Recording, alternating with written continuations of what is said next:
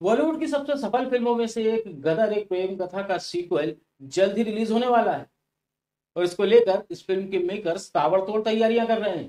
तो क्या है गदर टू को लेकर अपडेट्स बताएँगे आपको इस वीडियो में।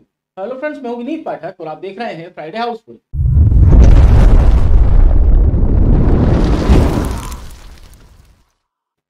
तो मेहरबान कदरदान पानदान पीकदान सुनिए मेरी बात, खोल के अपने काम।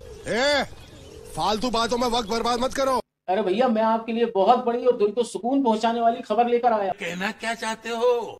तो खबर यह है कि बॉलीवुड की डूबती नैया को सहारा देने के लिए हमारे तारा सिंह यानी कि ढाई किलो का हाथ यानी कि सनी पाजी बड़ी तेज़ी से बॉक्स ऑफ़िस की तरफ़ रुक कर रहे हैं। क्या रहे हो आप? जी हाँ सनी पाजी की गदर एक प्रेम कथा का सीक्वल गदर टू जल्द ही बॉक्स ऑफ़िस पर दस्तक देने वाला है।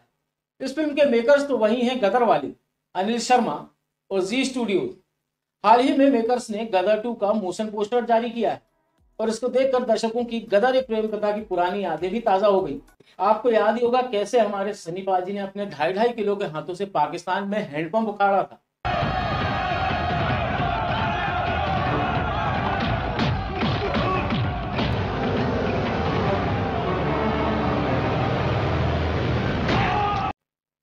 और जब हमारे तारा सिंह ने भरी मस्जिद में अशरफ अली को ललकारा था तो पाकिस्तान से लेकर हिंदुस्तान तक कई अशरफ अलियों की पैंट फट गई थी। अशरफ अली!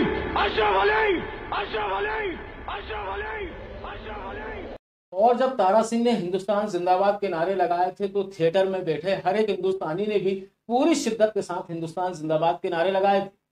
और इन नारों की गूंज थिएटर के बाहर तक गूंज रही थी। लेकिन हमारा हिंदुस्तान जिंदाबाद था। जिंदाबाद है और जिंदाबाद रहेगा। हिंदुस्तान जिंदाबाद! हिंदुस्तान जिंदाबाद! गदर टू भी आपको उसी नॉस्टैल्जिया में लेकर जाने वाली है। इस फ़िल्म की स्टारकास्ट भी वही पुरानी है, यानी कि सनी देओल अमीशा पटेल और उत्कर्ष शर्मा। हालाँकि अमरीश पुरी साहब के इंतकाल के बाद अगला विलन कौन होगा इस पर अभी सस्पेंस बरकरार है। आज से करीब 21 साल पहले जब गदर एक प्रेम कथा रिलीज़ हुई थी तो इसने इंडियन और ओवरसीज बॉक्स ऑफ़िस पर सफलता के सारे रिकॉर्ड तोड़कर एक नई हिस्ट्री क्रिएट की थी।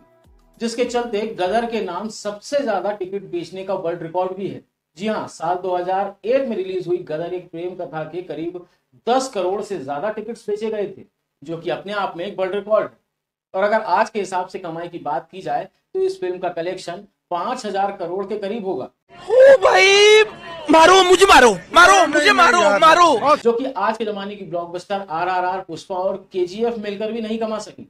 तो दोस्तों उम्मीद है कि सनी पाजी एक बार फिर से गदर टू के साथ नए रिकॉर्ड्स तो बनाएँगे ही साथ ही बॉलीवुड पर लगी पनौती भी खत्म करेंगे। और उन फ़िल्म मेकर्स को भी करारा जवाब देंगे जो कि अपनी फ़िल्मों और मनोरंजन के नाम पर एंटी हिंदुत्व और एंटी नेशनल प्रोपोगंडा चला रहे हैं।